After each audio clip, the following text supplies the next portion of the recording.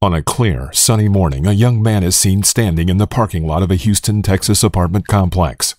Suddenly, a white sedan rams into the access gate, a common problem for apartments. A woman exits the car and closes the door.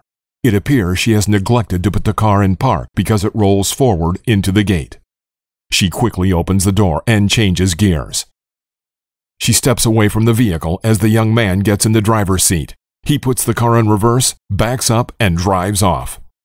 Stealth Monitoring's video review department is available to provide advanced customer support. We can record site activities around the clock, which can be very valuable, especially when fighting costly liability claims.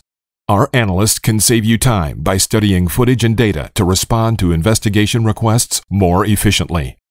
Stealth Monitoring has been helping clients deter thefts, safeguard expenses, and reduce property damage since 2006.